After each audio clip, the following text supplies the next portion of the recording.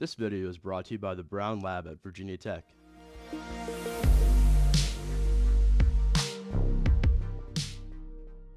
Hey everyone, in this video we're going to go over how to use ChimeraX for structural analysis and alignments.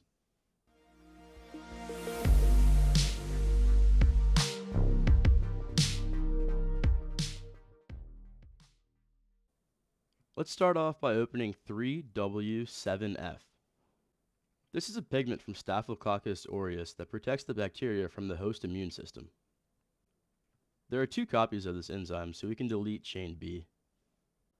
Let's focus on the ligand residues and label them with the view ligand and label ligand commands.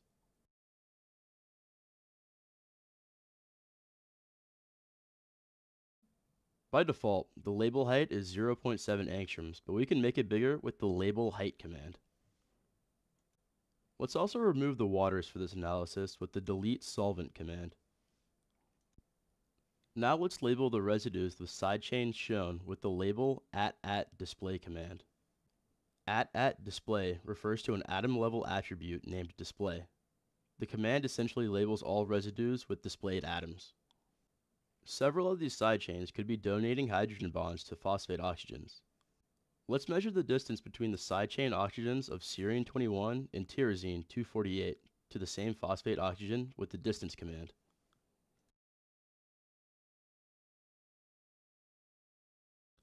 These distances appear to be consistent with hydrogen bonding, but let's double check.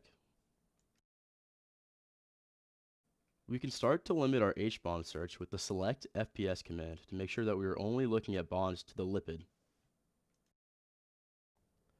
Then, with the H bonds, sel, restrict, cross, reveal, true, log true command, we can find H bonds with one end selected and report the results in the log. You can see that the distances we measured earlier are consistent with these H bonds shown in blue. Let's remove the H bonds and the distance measurements. Now let's look at clashes, which are unfavorable interactions where atoms are too close, and contacts, which are all kinds of direct interactions, polar, nonpolar, favorable, and unfavorable. Make sure the FPS residues are still selected and run the contact, sel, restrict, cross, reveal T, log T, select T command.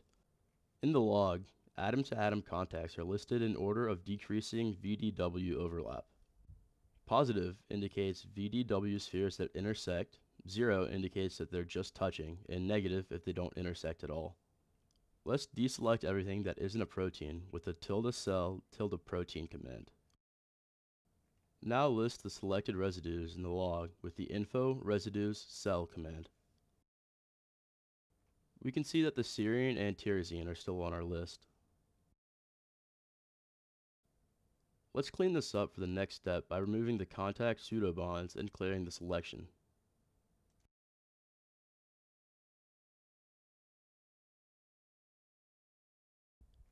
Chimera X can calculate the molecular lipophilicity potential map for proteins with the MLP command. The dark cyan areas are more hydrophilic and the gold yellow areas are most lipophilic. Let's limit the protein surface display to atoms within 6.3 angstroms of the ligand.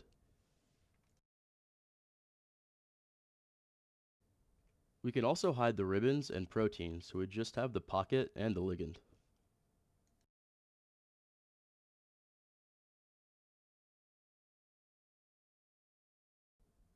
Let's look at the B factor values, which indicate which parts of the structure are more or less flexible.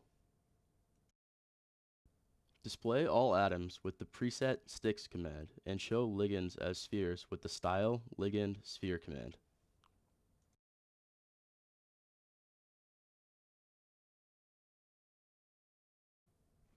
The color by attribute command shows the lowest B factors in blue and the highest in red. The lowest B factors are in the protein core and the highest cover the active site and are in the C terminus on the other side.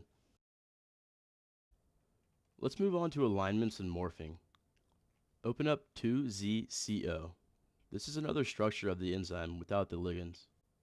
Go ahead and change the preset back to original. Now we can align these two models with the matchmaker or MM command. Here, we align model number 2 to model number 1 and show the residue alignment.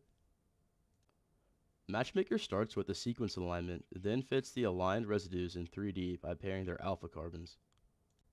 The match statistics are shown in the log and the residue pairs used for the final fit are highlighted in orange. Let's quickly clear the selection. Click on any part of the orange box to select these residues. We can then invert the selection and display the atoms of the protein where the fit wasn't good.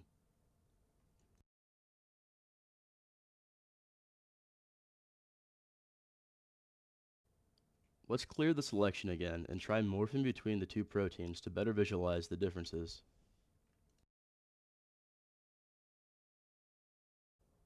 With this morph command, we can morph from protein 1 to protein 2 over 60 frames.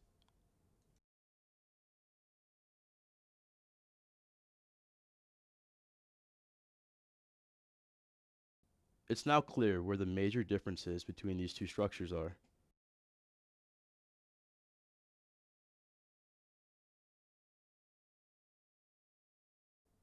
You can show protein 1's models if you want to see the pocket, but right now we're interested in the ligand, so let's hide the surfaces, ribbons, and atoms. Now let's show FPS and MG.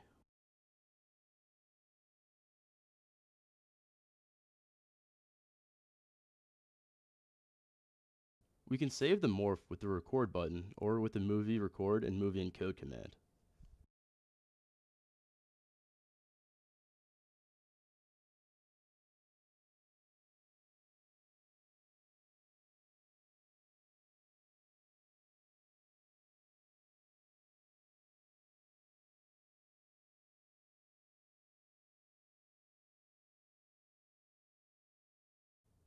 That's all for this video.